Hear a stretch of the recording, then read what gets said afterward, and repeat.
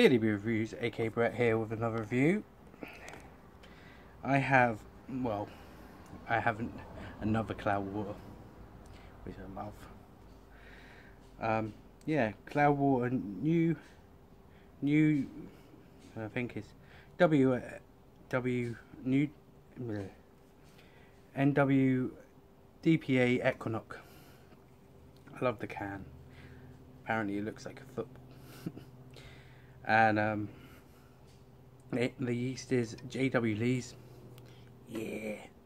Um, uh, WLP uh, 4000. Aroma hops is Ekuanot, Citra, BBC, Citra, Simcoe, Ananium.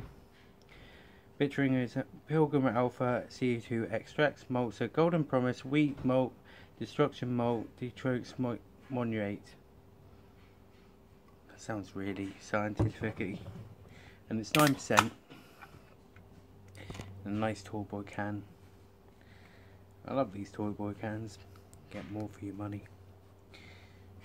Anyway. Into the glass. Well it's looking like a Rubicon.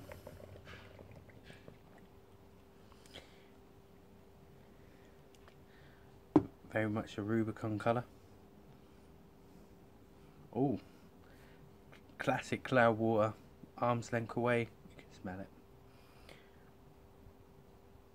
Mmm, of mangoes, bit of mangoes, overripe mangoes, bit of lemon,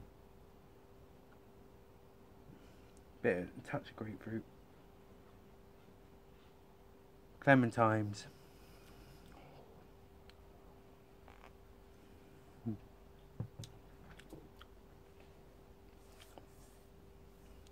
Mmm. Tropical juice, like mangoes, etc., etc. No bitterness. Really easy drinking. A slight touch of alcohol. You would get that for a 9% beer.